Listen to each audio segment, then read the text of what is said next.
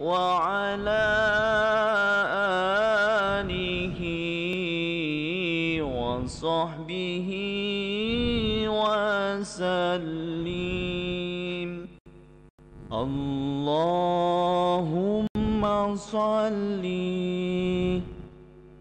على سيدنا محمد طب القلوب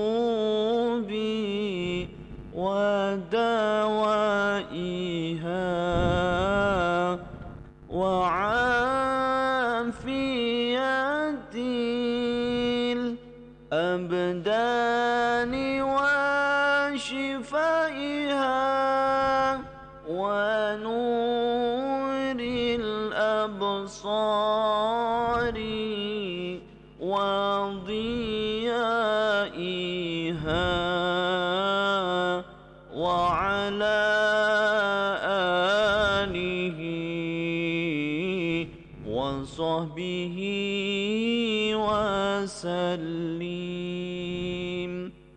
اللهم صل على سيدنا محمد طب القلوب ودوائها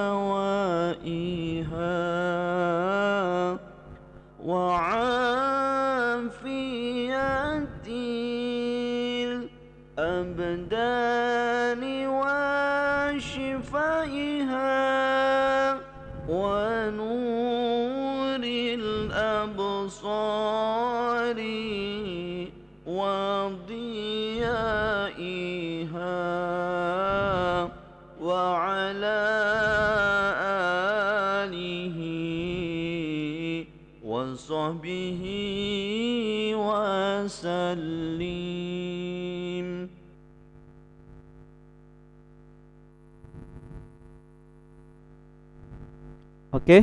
bisa kita lanjutkan ya.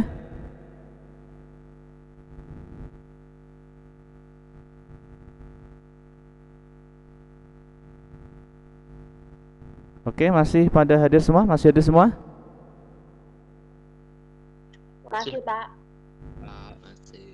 Oke, coba dibuka videonya semua. Oke, audionya dimatikan, videonya aja diaktifkan.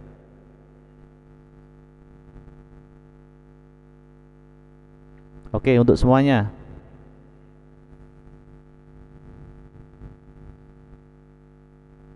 Oke, sudah ada bahasa Rotsita, ada Januar Dwijo, Dwijo ya.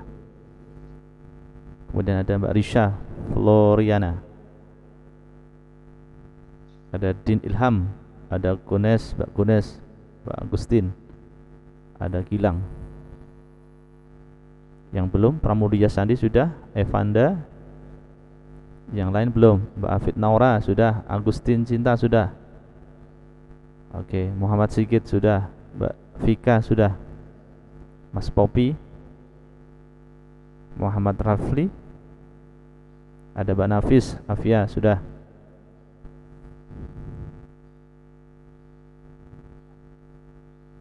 Oke, eh, bisa untuk mempersiapkan bukunya disiapkan, kemudian nanti Pak Akid akan menyampaikan eh, PowerPoint ya berkenaan dengan pertemuan kali ini.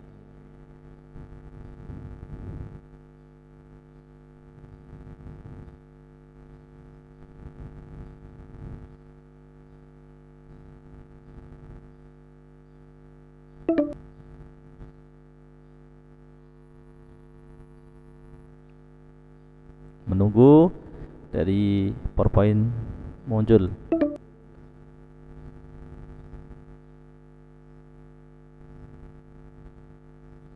Bagaimana dengan tugas yang kemarin? Apakah sudah dikirim dan dikerjakan semua?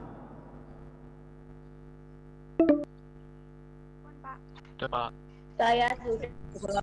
Oke, sudah. Saya sudah. Yang belum siapa ya? Saya sudah. Yang belum? Yo coba ngaku sajalah yang belum siapa?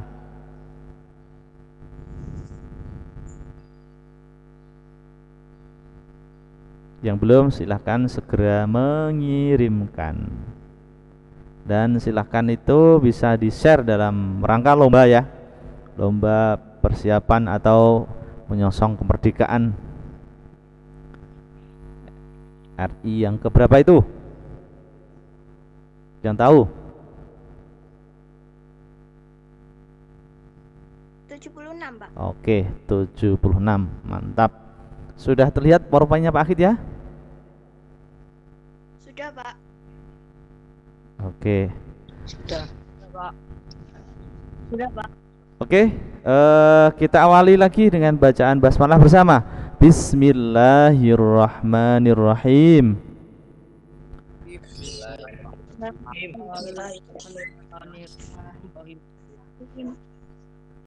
Oke, materi pendidikan agama Islam dan budi pekerti khusus untuk kelas 8 semester 1 atau semester gasal. Yaitu ada beberapa materi yang harus kalian kuasai dan harus kalian bisa kerjakan dan bisa dipraktekkan. Yang pertama adalah berkenaan dengan rendah hati, hemat hidup sederhana. Untuk materi yang pertama sudah kita sampaikan, sudah sampai ke penilaian baik penilaian pengetahuan dan penilaian keterampilan. Kemudian yang kedua adalah beriman kepada kitab Allah Subhanahu wa taala yang nanti pada kesempatan kali ini akan saya sampaikan. Kemudian bahaya mengkonsumsi minuman keras, judi dan pertengkaran. Kemudian ada tata cara sholat sunnah berjamaah dan munfarid. Jadi sholat sunnah itu ada atau bisa dilaksanakan secara berjamaah dan ada yang bisa dilakukan secara munfarid atau sendi sendirian.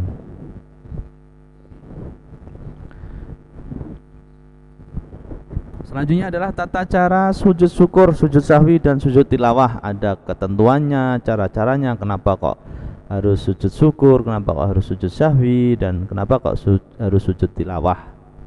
Kemudian yang keenam adalah sejarah pertumbuhan ilmu pengetahuan pada masa Umayyah. Ada Bani Umayyah, ada Bani Abbasiyah. Pada kelas 8 semester 1 yaitu kita akan belajar berkenaan dengan sejarah pertumbuhan ilmu pengetahuan masanya masa Umayyah. Jadi ada enam bab yang harus kalian kuasai dan setiap bab ada penilaian pengetahuan. Sudah paham ya? Setiap bab ada penilaian pengetahuan. Dan dari enam bab itu nanti juga ada penilaian praktik.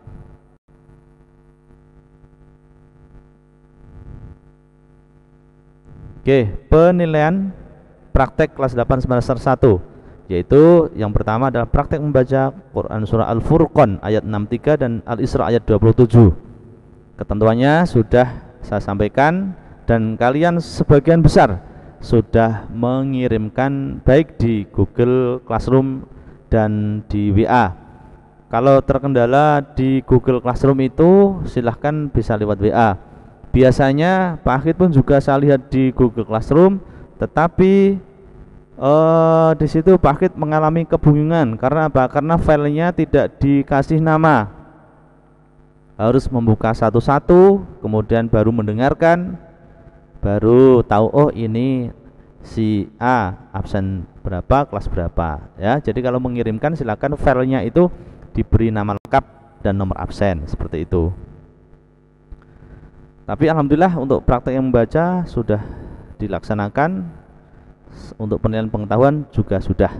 Yang belum adalah praktek yang kedua yaitu praktek sholat idul adha dan praktek sujud syukur.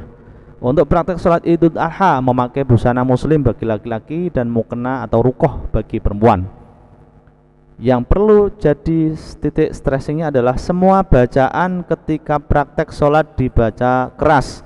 Artinya dikeraskan mulai takbir kemudian takbiratul ikhram ya. Doa iftitah kemudian surah fatihah surah-surah pendek. Surah-surah pendek ini terserah. Bisa An-Nas Al-Ikhlas itu terserah saja itu ya. Kemudian bacaan takbir juga harus dikeraskan. Beberapa kali itu? Di takbir sebelum takbiratul ikhram atau takbir sebelum doa iftitah itu ada berapa kali itu pun juga harus dikeraskan sehingga terdengar di rekaman video itu. Jadi harus diperhatikan. Kemudian bisa dikirim di Google Classroom. Ini mungkin masih terlalu eh, mengalami keberatan karena apa? Karena ini praktek sholat biasanya mungkin waktunya 3 sampai 4 menit. Walaupun dua rakaat, mungkin 3 sampai 2 4 menit. Tidak usah tergesa-gesa. Nanti ada solusi kalau tidak bisa dikirim di Google Classroom, nanti bisa dikirim di WA atau mungkin nanti akan Pak Ahid share link untuk khusus untuk tugas praktek sholat ibadah. Nanti bisa komunikasi sama Pak Ahid. Kemudian yang ketiga adalah praktek sujud syukur. Yang putra memakai busana muslim, yang putri memakai busana muslimah. Sekali lagi, yang perlu ditekankan adalah semua bacaan ketika praktek sujud dibaca secara keras Video dikirim ke Google Classroom atau Japri Wahid kalau mengalami kesulitan. Kemudian pertanyaannya adalah kapan kedua praktek itu dikirimkan atau dikerjakan? Kalau seumpamanya kalian sudah mengerjakan dengan keyakinan bahwa itu sudah betul dan benar, belum Pak terangkan, disimpan dulu. Nanti sampai di Google Classroom saya buatkan room untuk mengirim praktek sholat Idul Adha dan praktek sujud syukur disimpan dulu di HP ya. Jadi setelah Pak Akhi terangkan baru kalian mengerjakan baru kalian mengirimkan tugas itu. Dari praktek ini lewat video pengiriman video ini ketika kita masih pembelajaran jarak jauh. Tetapi kalau sudah tatap muka nanti kalian praktek langsung di depan Pak Akhid seperti itu. Jadwal pelajaran untuk PAI untuk kelas 8A mulai jam 9 sampai jam 11 ini sudah jam 10 ini adalah Google Classroom untuk grup pembelajaran atau grup belajar dan materi pembelajaran serta evaluasi. Evaluasi dikirimkan di Google Classroom. Kemudian untuk YouTube juga sama. Di sana ada materi pembelajaran dan silahkan absensi juga. Karena minggu ini eh, dengan pembelajaran daring ya langsung absensinya di awal tadi kalau di YouTube itu di materi pembelajarannya silahkan diketik nama lengkap, kemudian harinya apa, hari PAI dan nomor absen berapa dan kelas berapa. Seperti itu. Selanjutnya ada lagi Google Formulir. Google Formulir ini adalah untuk apa? Untuk evaluasi pengetahuan dan absensi yang sudah kalian kerjakan kemarin di link evaluasi pengetahuan pada bab pertama atau pokok bahasan yang pertama berkenaan uh, rendah hati ya. Tadi itu sudah kalian kerjakan. Ada menu nama nama lengkap kemudian ada nomor absen kemudian ada lagi uh, nilai dari semua jawaban kemudian keluar nilai. Jadi langsung ada nilainya. Itu ada di responnya di respon Pak Ahid itu. Di responnya gimana Pak Ahid kemudian yang keempat adalah ada Google Meeting. Yang kita lakukan ini adalah tatap muka langsung. Jadi bisa melihat langsung secara langsung walaupun lewat e, jaringan internet. Pak Akhid bisa lihat siapa yang namanya Mbak Nafis Afia Khair Hairuni saya. Itu walaupun lewat jaringan internet walaupun kadang juga ke sekolahan pun juga Pak lihat. Kemudian ada Mbak Risa Floriana itu pun juga saya bisa lihat. Kemudian ada Mbak Gones Meta. Panggilannya Mbak Gunes atau Mbak Meta ini? Gones, Pak. Oke, Mbak Gunes. Dan teman-teman kalian yang lain bisa Pak lihat walaupun secara virtual atau lewat jaringan, tapi tidak masalah. Kemudian penyampaian materi secara langsung. Nah, ini Podokaro ini belabake atau papan tulisnya. Pakai Pak gunakan PPT untuk PowerPoint-nya. Selanjutnya untuk diskusi kelas setelah Pak Akid sampaikan materi nanti kalau ada pertanyaan silahkan nanti bisa didiskusikan di kelas ini. Walaupun ini secara virtual kemudian hanya apa itu pandangan-pandangan berupa kalimat-kalimat tapi tidak masalah nanti kita akan diskusi. Oke Selanjutnya ada WhatsApp. Ini sudah sering kita gunakan ya untuk koordinasi kelas. Kemudian pengiriman soal evaluasi pengetahuan dan pengiriman soal atau katakanlah eh, penilaian keterampilan, keterampilan yang praktek ya. Kemudian pengiriman hasil evaluasi atau keterampilan video ke WA, WA-nya Pak Ahid, Japri ya. Kalau terjadi kendala di Google Classroom.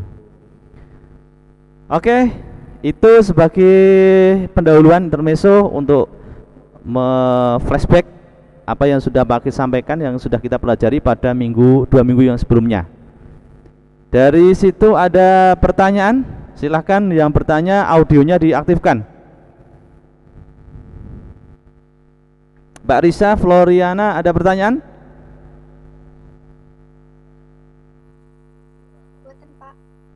Kemudian Mbak Nafis Afia ada pertanyaan? Buatan Pak.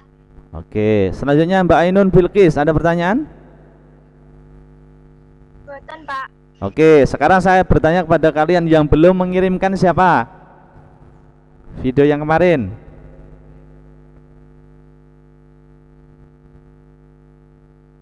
Sudah semua ya? Berarti di link itu sudah ada semua ya dari video kalian ya?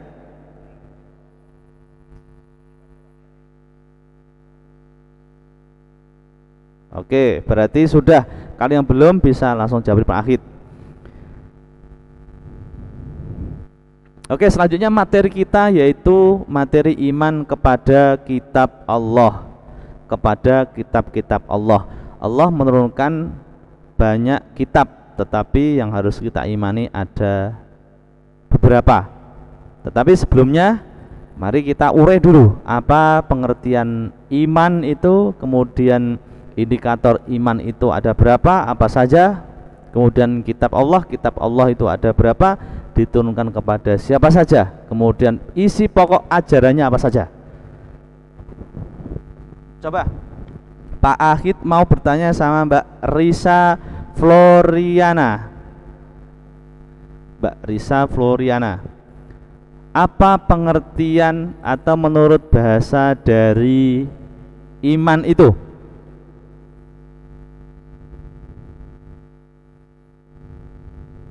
Percaya. Iman artinya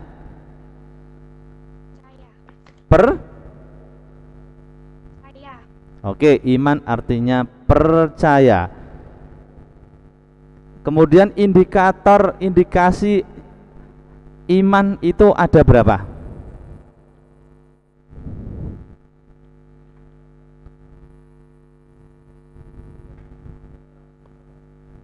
Ada berapa? Coba Mbak Nafis. Ada berapa indikator iman itu? Indikator iman itu apa, Pak? Indikator iman adalah hal-hal yang bisa diaplikasikan dari sebuah kepercayaan yang kamu punyai.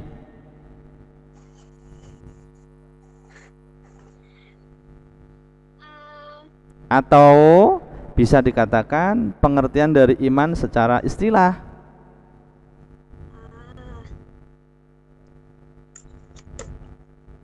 Em, percaya dan yakin atas Allah Subhanahu wa taala dan ajaran yang dilakukan ajaran yang diperintahkannya. Oke, itu ada kitab-kitabnya ya. Kalau pada pokok bahasan ini adalah kitab-kitab Allah. Kitab-kitab Allah. Allah. Oke.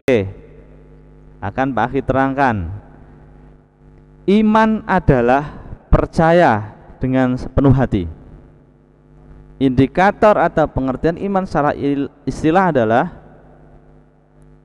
al-imanu tasdiqum bil qalbi takrirum bil lisan wa amalum bil arkan. Jadi iman itu ada tasdikum bil qalbi atau pembenaran dalam hati kita. Ada pembenaran dalam hati kita. Oh iya, Allah itu telah menurunkan kitabnya sebagai pedoman untuk hidup saya, hidup umatnya yaitu terutama di umat yang sekarang adalah umatnya Nabi Muhammad SAW. Dalam hati kita membenarkan tasdiqum bil qalbi. Kemudian yang kedua yaitu takrirum bil lisan. Kita ucapkan kita ucapkan saya meyakini bahwa Allah betul-betul menurunkan kitabnya kepada Nabi Muhammad Al-Qur'an sebagai pedoman hidup hidup bagi umat Islam terutama pun juga khususnya untuk saya. Dan ketika kita Al-Qur'an maka kita harus mengaplikasikan berarti kita harus takrirum bil lisan. Ya kita harus membacanya membaca Al-Quran. Siapa yang tidak pernah membaca Al-Quran setiap hari siapa yang tidak pernah membaca Al-Quran? Setiap hari membaca Al-Quran ya? Oke semuanya saya yakin membaca Al-Quran kecuali yang putri mungkin karena halangan. Kemudian yang ketiga adalah wa amalum bil arkan. Dari Al-Quran dari kitab itu kitab Allah Al-Quran itu kita bisa aplikasikan dalam kehidupan sehari-hari. Bagaimana kita beribadah bagaimana kita bermuamalah bagaimana kita meyakini ketuhanan atau kesan Allah itu kita aplikasikan dalam kehidupan sehari-hari. Beribadah sholat sholatnya ya sing ra, rajin. Kemudian zakat kita tunaikan za, zakat. Jadi itu jadi iman kepada iman sendiri itu adalah ada tiga indikator atau indikator secara istilah.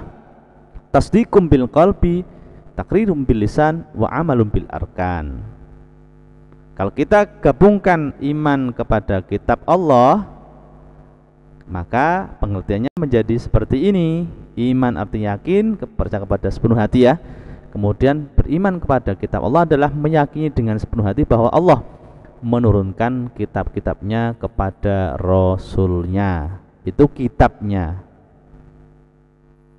Ya, kalau kita iman kepada Allah berarti itu kita harus meyakini ada pembenaran oh ya Allah itu pasti ada ada akoid seket itu akoid uh, akidatul awam di kitab akidatul awam ya di situ sifat-sifat wajib, sifat jais dan sifat mustahil bagi Allah dan Rasul ada semuanya. Harus meyakini itu semuanya. Tasdikum bil qalbi. Kemudian takrirum bilisan. Ketika kita iman kepada Allah, kalau kita iman kepada Allah, maka kita bisa menglafalkan dengan sepenuh hati asyhadu alla ilaha illallah wa asyhadu anna muhammadur rasul rasulullah. Kemudian wa amalu bil arkan. Dari konsekuensi asyhadu alla ilaha illallah maka itu kita harus menjalankan ibadah, sholat, zakat dan sebagainya dan sebagainya. Kalau kita iman kepada kitab Allah, kita benarkan, kita baca, kita amalkan dalam kehidupan sehari-hari. Tetapi tidak secara tekstual kita akan memahami Al-Qur'an. Ada ilmu-ilmu yang lain dalam menafsirkan dan memahami Al-Qur'an. Maka kalau diterangkan di sini akan panjang. Oke, kita lanjutkan lagi. Ini adalah berkenaan dengan dalil adanya atau diturunkan kepada Rasul kitab-kitabnya dan bisa dengan pedoman kitab itu mengeluarkan dari dari gelap gulita dan ke akhirnya cahaya yang terang benderang dengan izin Allah Subhanahu wa taala yang terdapat pada surah Al-Maidah surah yang kelima itu ya surah yang kelima ayat 16. Oleh karena itu, Pak Ahid minta tolong kepada Mbak Nafis untuk membacanya. Kalau tidak ya ada buku di sampingnya ada buku PAI kelas 8 bisa di dibaca. Coba pada bab iman kepada kitab-kitab Allah. Al-Maidah ayat 16 nih, Pak. Apa? Al-Maidah ayat 16 nih. Yang ada di layar itu surah apa itu? Ayo. Al-Maidah. Oke, surah Al-Maidah ayat 6 16. Oke. Silahkan dibaca beserta terjemahannya.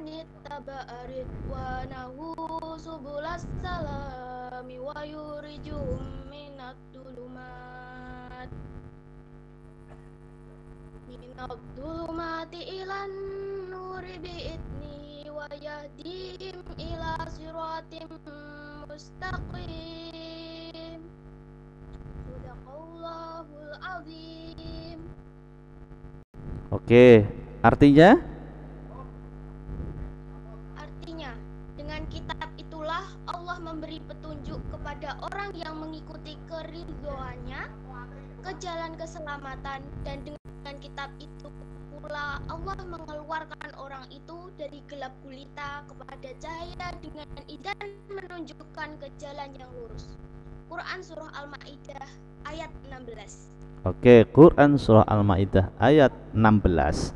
Jadi, kitab itu diturunkan Allah sebagai petunjuk untuk manusia. Ada empat kitab Allah yang harus kita yakini yang diturunkan Allah kepada para nabi atau rasul. Yang pertama ada kitab Taurat di situ berisi tentang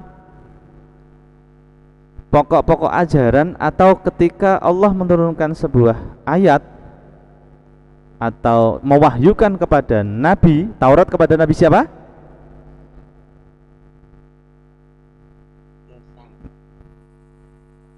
Nabi Musa Oke, Nabi Musa ya. Itu merupakan jawaban dari sebuah permasalahan yang dihadapi Nabi Musa pada saat itu. Dan wahyu itu tidak hanya satu, dua, tiga kali atau satu, dua, tiga bulan atau tiga hari tidak, tetapi bertahun-tahun. Jadi itu jadikan kitab atau sudah dibukukan itu dari beberapa eh, periode pemberian wahyu atau penerimaan wahyu dari Allah maka dibukukan menjadi sebuah kitab. Ya, itu sebagai pedomannya pada zaman dahulu kitab Taurat berarti pada umat Bani Israel ketika Nabi Mu Musa sebagai pedomannya Bani Israel. Seperti itu. Kita lanjutkan. Sampai sini ada pertanyaan?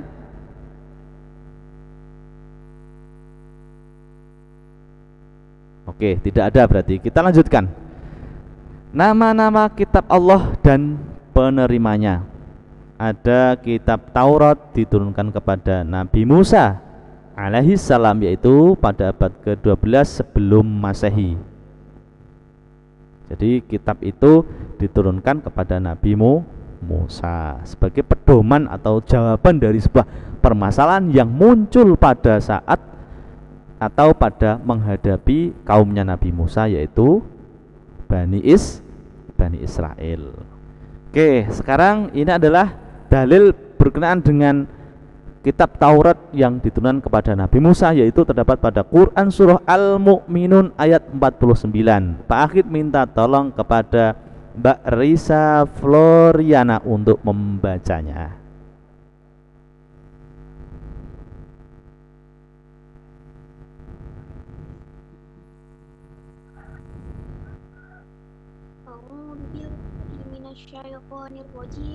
Bismillahirrahmanirrahim. Walaqad ataina Musal kitaba lamal la'allahum yahtadun. Artinya, dan sesungguhnya telah kami anugerahi kepada Musa kitab Taurat agar mereka Bani Israel mendapat petunjuk. Surah Oke, surah Al-Mu'minun ayat 49.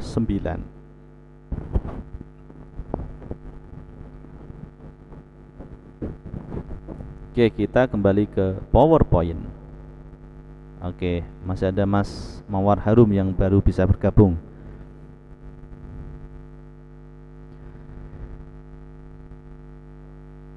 Oke, selanjutnya Bentar, ini PowerPoint-nya akan Pak tampilkan lebih besar.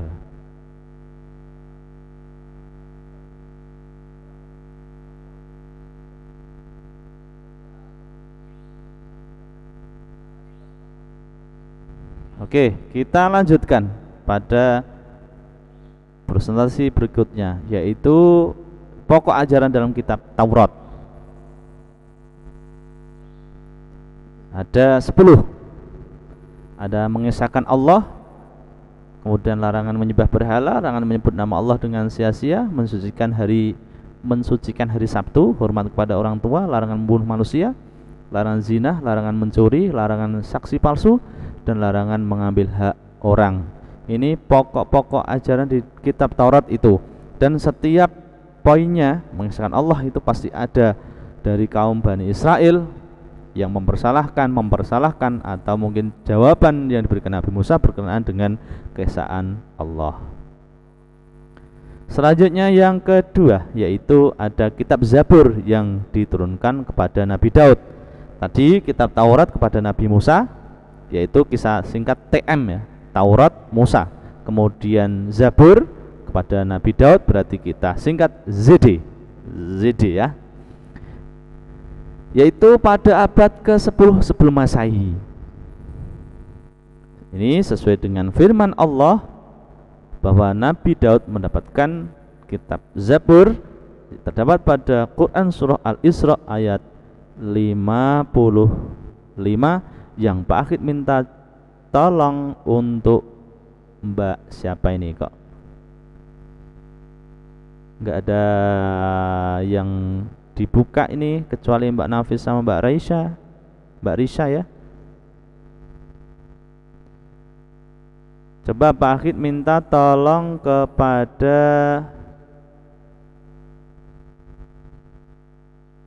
Mbak Afia Atia. Silahkan bisa dibacakan Mbak Afia Atia Yaitu surah Al-Isra ayat 55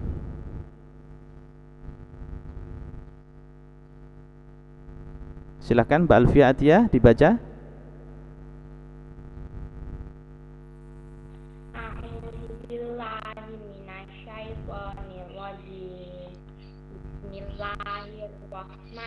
Bismillahirrahmanirrahim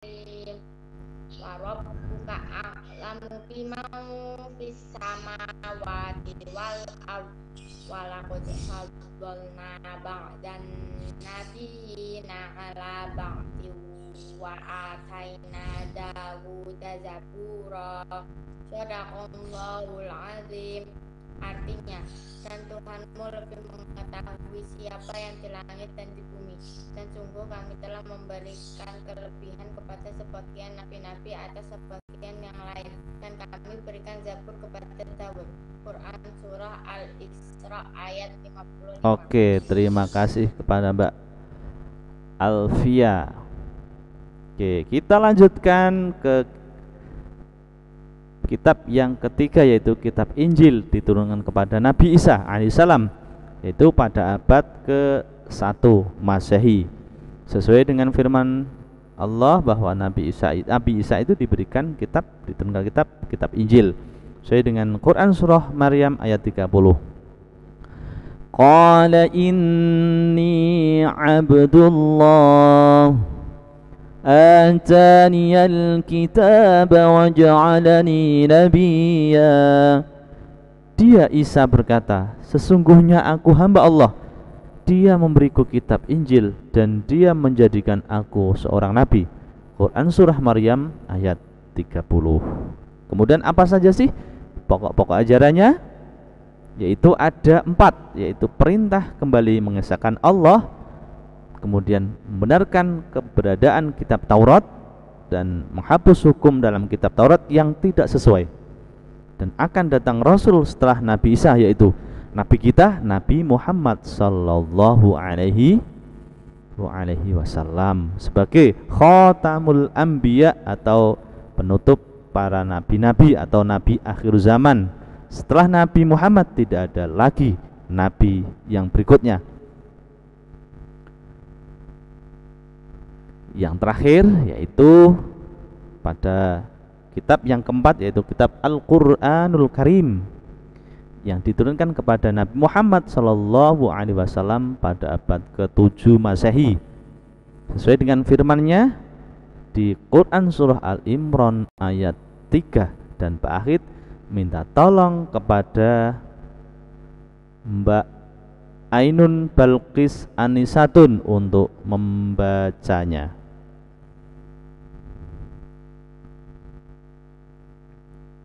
Ainun Bilqis Anisatun silahkan bisa dibacakan Quran Surah Ali Imran ayat 3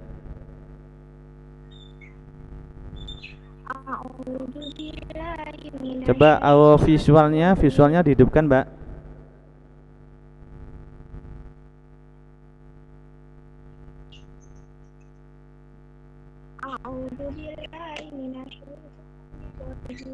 Bismillahirrahmanirrahim. Bil haqqi musaddiqan lima baina yadayhi wa anzala at-taurata wal injil. Ya, dia menurunkan kitab Al-Quran kepada Muhammad yang mengandung kebenaran, membenarkan kitab-kitab sebelumnya, dan menurunkan Taurat dan Injil. Quran Surah Al-Imran ayat 3. Oke, terima kasih kepada Mbak Ainun Bilqis Anisatun. Kita kembali ke materi berikutnya. Selanjutnya apa saja sih isi atau pokok-pokok ajaran Al-Qur'an itu? Ada lima. Yang pertama adalah berkenaan dengan akidah atau keyakinan. Di situ banyak sekali ayat yang menyatakan atau berkenaan dengan akidah. Kalau kita sering baca itu adalah surah Al-Ikhlas. Qul huwallahu ahad. Itu berkenaan dengan keesaan Allah. Qul katakanlah huwallah itu ada Allah ahadun adalah satu atau suwiji. Satu ya. Kemudian yang kedua adalah berkenaan dengan akhlak. Kita tahu bahwa Rasulullah sendiri diutus untuk menyempurnakan akhlak manusia terutama untuk umatnya karena Nabi Muhammad sendiri adalah Nabi akhir zaman atau Nabi yang paling terakhir setelah Nabi Muhammad ada maka dia merupakan beliau adalah merupakan e, penyempurna dari akhlak-akhlak atau tata kehidupan yang ada pada zaman terdahulu. Kita tahu ada hadis yang mengatakan yang disampaikan oleh sahabat yaitu innama bu'ithu liutammima makarimal akhlak. Sesungguhnya aku atau Nabi Muhammad sendiri diutus untuk menyempurnakan akhlak. Kemudian yang ketiga adalah berkenaan dengan ibadah. Ibadah. Ibadah kepada Allah dan ibadah sesama manusia.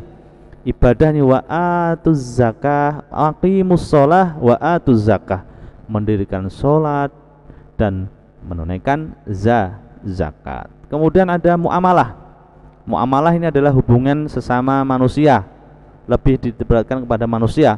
Kalau hubungan kepada Allah ini juga ada. Jadi muamalah ma Allah dan muamalah ma'anas ada dua jenis muamalah tetapi kelihatannya ini pun juga banyak sekali berkenaan dengan muamalah ma'anas ya yang lebih dititik beratkan ibadah itu langsung ibadahnya kepada Allah. Dan juga juga ibadah pun juga kepada manusia. Kemudian yang kelima adalah berkenaan dengan tarikh atau sejarah. Banyak sekali di Al-Quran tadi sudah kalian baca sejarah-sejarah atau katakanlah berkenaan dengan nabi-nabi sebelumnya. Dan di Al-Quran pun juga ada nama-nama surah. Ada surah Yusuf itu pun juga nabi sebelum Nabi Muhammad SAW Kemudian di situ juga ada cerita seorang yang jadi panutan soal syukur kita ya, yaitu berkenaan dengan eh, syukurnya memberikan pendidikan syukur kepada anaknya, yaitu yaitu Luqmanul Hakim di surat surah atau surat Luqman itu ada sejarah atau cerita itu ada. Selanjutnya Al-Quran sebagai kitab suci umat Islam itu terjaga kemurniannya. Karena apa? Karena Allah yang menurunkan dan Allah pun juga yang memeli memeliharanya. sesuai dengan Quran surah Al-Hijr ayat 9. Pahit minta tolong kepada Mas Aril Excel untuk membacanya. Silahkan Mas Aril Excel bisa dibacakan Quran surah Al-Hijr ayat 9.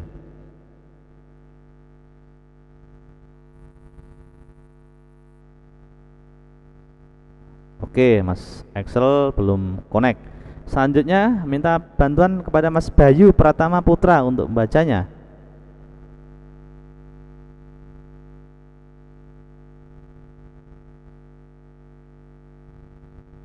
Oke, juga tidak aktif.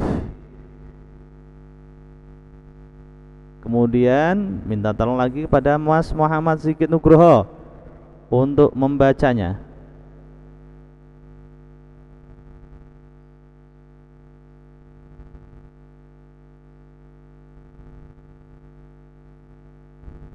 Oke, ya kepada Mbak Zaratun Nuriha ini Pak Akid minta tolong untuk membaca surah Al-Hijr ayat 9. Silahkan Mbak Zahratun Nuriha.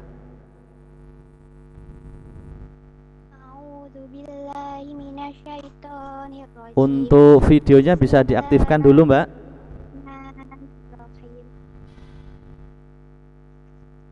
Oke ya Mbak Zahratun Nuriha. Oke.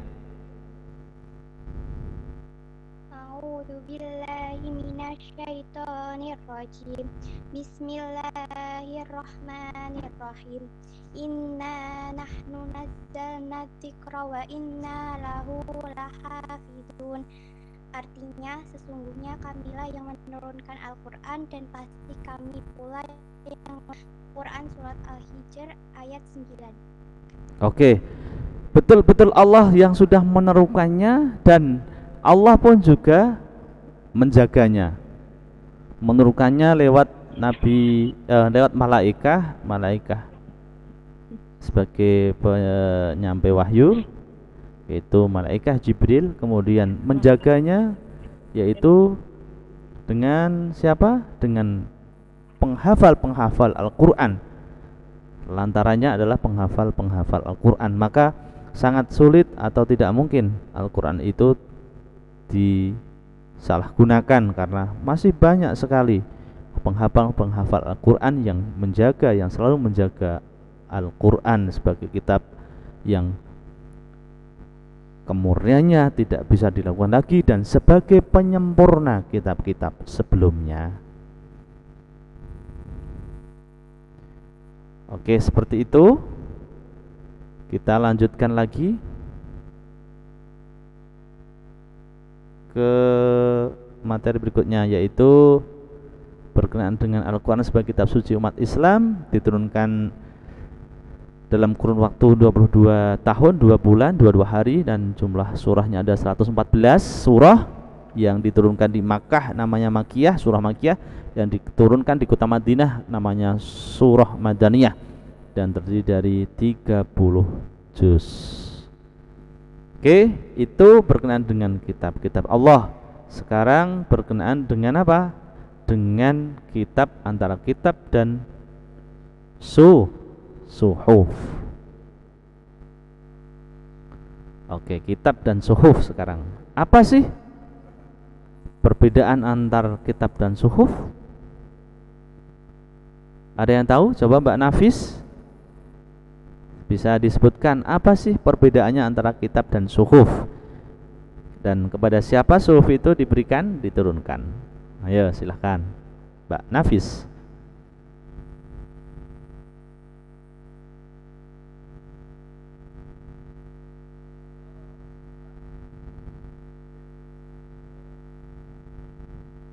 Perbedaan dua-duanya, Pak. Ya, perbedaan antara kitab dan suhuf ada berapa itu? Kemudian suhuf itu diberikan kepada kepada nabi siapa saja?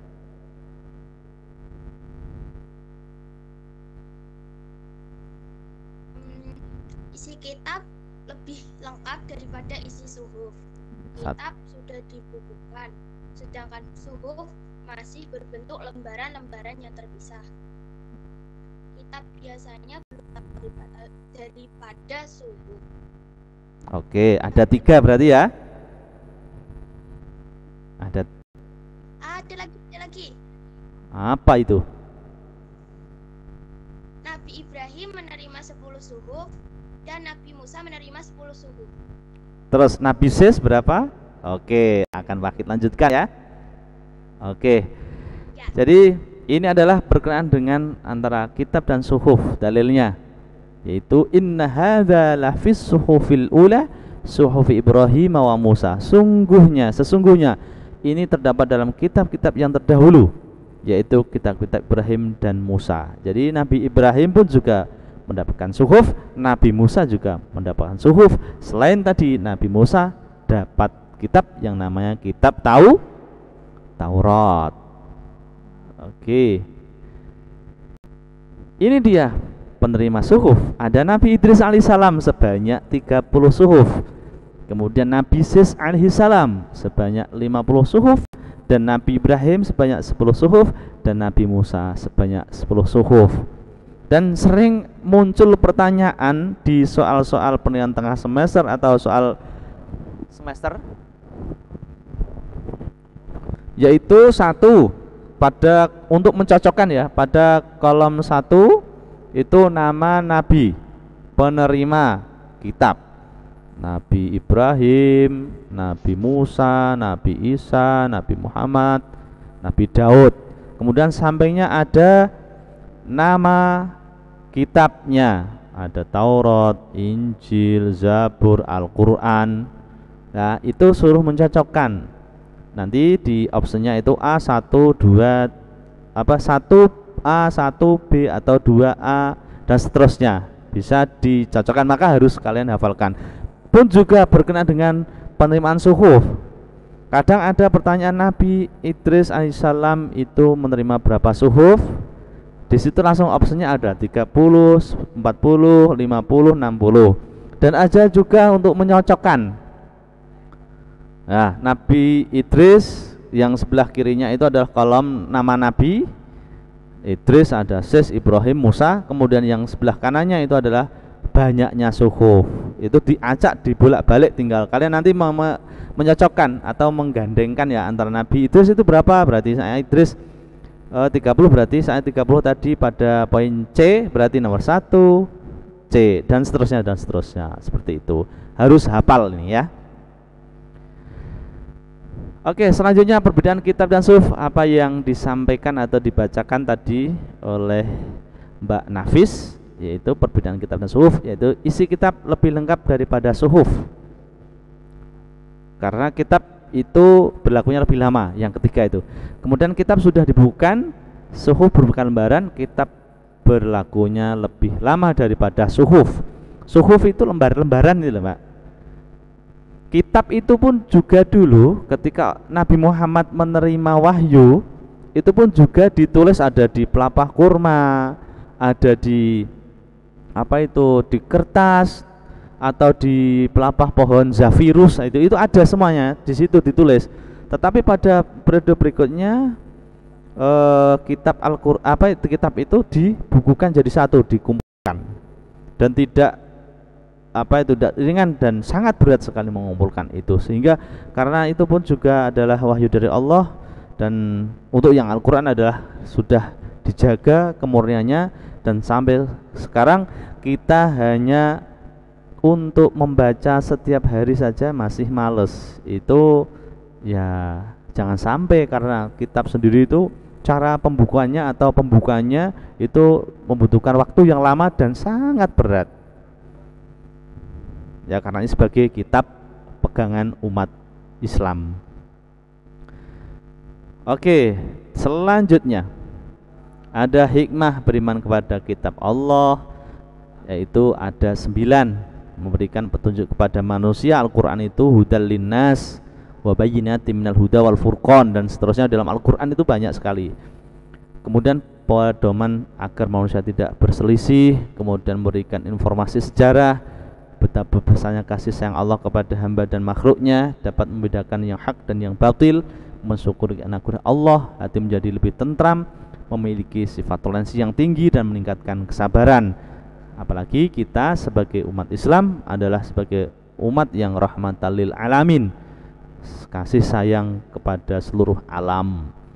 Jadi tidak ada saling menyalahkan dan tidak akan saling memojokkan antar umat Islam semuanya punya dasar dan semuanya harus kita junjung dan kita hormati alasan atau dasar mereka yang gunakan dalam suatu hal atau perkara. Dari itu sampai hikmah beriman kepada Allah ada pertanyaan?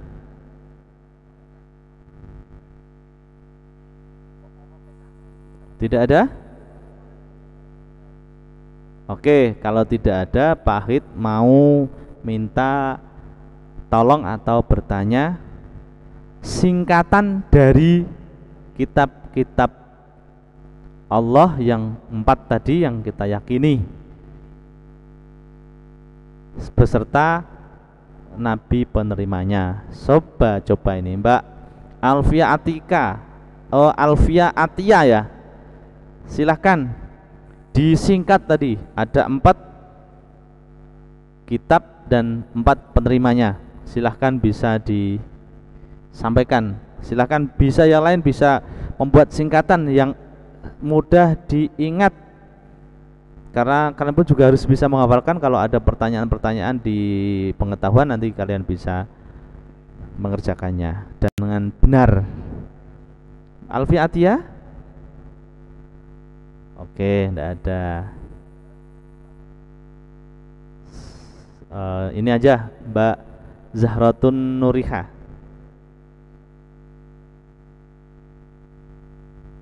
Ada singkatan untuk nama kitab dan penerimanya Mbak Zaratun Nuriha. Oke belum ada imajinasinya Oke kalau tidak ya ini Mbak. Afia Nuriha. Ada singkatan yang mempermudah satu aja satu dari satu atau diambil depannya saja atau ada sebuah kata atau disusun sebuah kalimat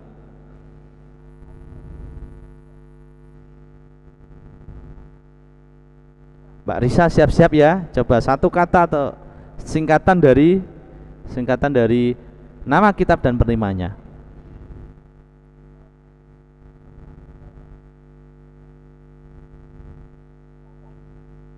Mau mencoba Mbak Risa?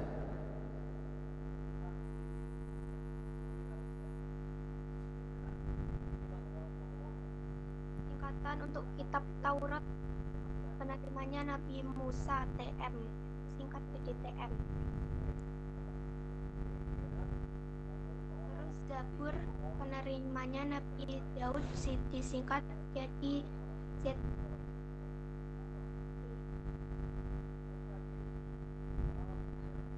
Z Coba ulang lagi Mbak Risa.